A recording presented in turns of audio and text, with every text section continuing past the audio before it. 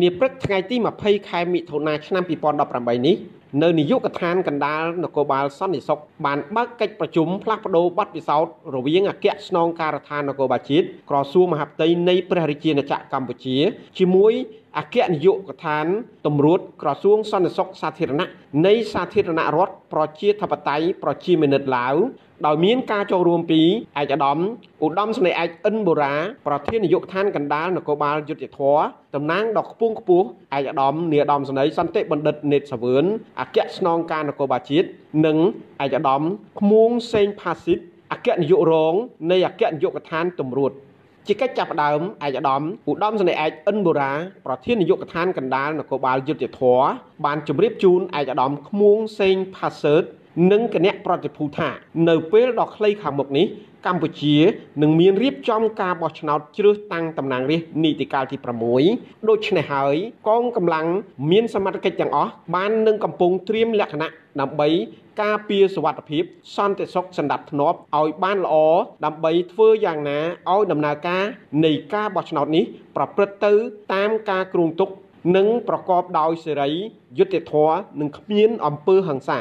ដោយឡែកពាក់ព័ន្ធនឹងបទល្មើសវិញកន្លងមក កម្ពុជាតែងតែបានសហការល្អជាមួយបណ្ដាប្រទេសក្នុងតំបន់ក៏ដូចជាអន្តរជាតិក្នុងការផ្លាស់ប្ដូរព័ត៌មាននិងបទពិសោធន៍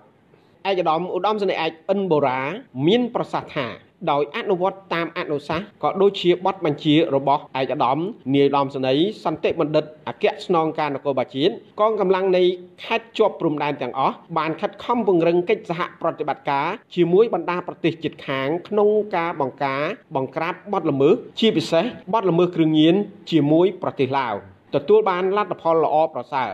ឯកឧត្តមបញ្ជាក់ថាបញ្ហាគ្រឿងញៀនវាមានភាពស្មុគស្មាញណាស់ទាំងក្នុងតំបន់ក៏ដូចជាអន្តរជាតិជាពិសេសរវាងព្រំដែនកម្ពុជាឡាវដែលមានលក្ខណៈភូមិសាស្ត្រស្មុគស្មាញសម្បូរទៅដោយព្រៃភ្នំប៉ុន្តែទោះជាយ៉ាងណា ដោយសារមានការលើកទឹកចិត្តនិងការកំណត់គោលនយោបាយច្បាស់លាស់ពីរាជរដ្ឋាភិបាល បញ្ហាគ្រឿងញៀនត្រូវបានធ្វើការបង្ក្រាបជាបន្តបន្ទាប់នៅក្នុងកិច្ចប្រជុំនេះដែរឯកឧត្តមឃ្មួងសេងផាសឺត អគ្គនាយករងតម្រួតបានមានប្រសាសន៍ថាបញ្ហាគ្រឿងញៀននេះដែរអគ្គនាយកដ្ឋានតម្រួតនៃក្រសួងសន្តិសុខសាធារណៈបានយកចិត្តទុកដាក់យ៉ាងខ្លាំងដោយក្នុងរយៈកាលកន្លងទៅក៏មានការបង្ក្រាបចាប់ខ្លួនជនសង្ស័យនិងគ្រឿងញៀនជាច្រើនផងដែរហើយខេត្តចម្ប៉ាស័កនិងខេត្តស្ទឹងត្រែងតែងតែជួបប្រជុំគ្នាមួយខែម្ដង ដើម្បីផ្លាស់ប្ដូរព័ត៌មានក៏ដូចជាបទពិសោធន៍ក្នុងការបង្ការបង្ក្រាបបទល្មើសជាពិសេសបទល្មើសគ្រឿងញៀន